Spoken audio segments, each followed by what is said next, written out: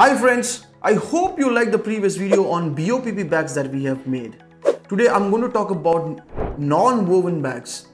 Non-woven bags, my friends, is also called as fabric bags. Normally, you know, the printers, the packaging guys say that this is a bag which is not environment friendly.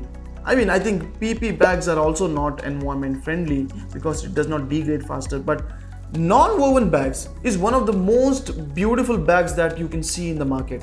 It looks like a cloth, uh, it has a matte finish, the pictures and printing on it is amazing. So let's find out a little more details on to what goes into a non-woven packaging and what kind of products go into it.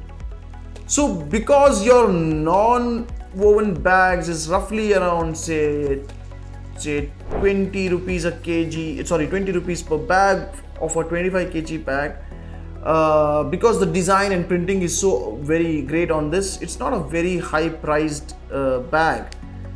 Um, in terms of minimum order quantity also it is very friendly that way. You can even print like a thousand bags or just one container worth of bags or a 2000 bags also right?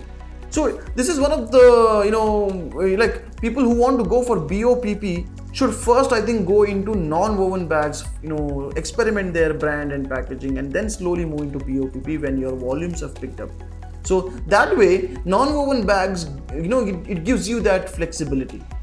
So we've talked about uh, price range uh, for a 25 kg bag, roughly around 20 to 25 rupees. You know, minimum order quantity we have talked about. You can you can even print 1000 bags or 2000 bags. There is no major cost of cylinders because cylinders are not used in this kind of bags. The plates are used in these bags, and it is very easily um, made in about two three thousand rupees. Uh, you know, particular plate uh, for the which the designs are made, right?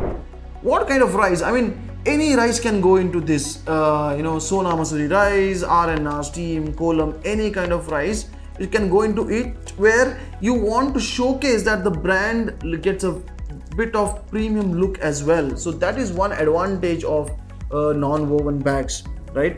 Right normally middle east markets loves uh, you know non-woven bags uh, singapore market loves non-woven bags uh, US uh, as a market loves non-woven bags. Canada as a market loves non-woven bags.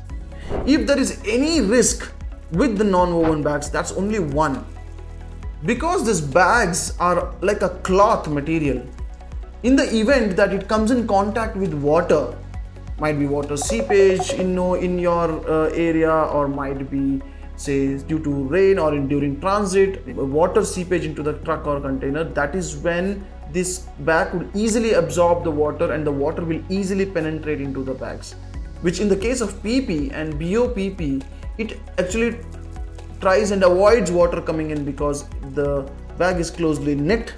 It's a woven bag and it is a laminated bag. So it, to a large extent it tries to you know kind of not allow the water to seep in right? A lot of people also try to prefer to put a plastic liner inside a non-woven bags just for the purpose of this safety right? This is all about non-woven bags my friends which is also called as a fabric bag double side printing and handles and a lot of things can be experimented on this. I hope you've liked this video.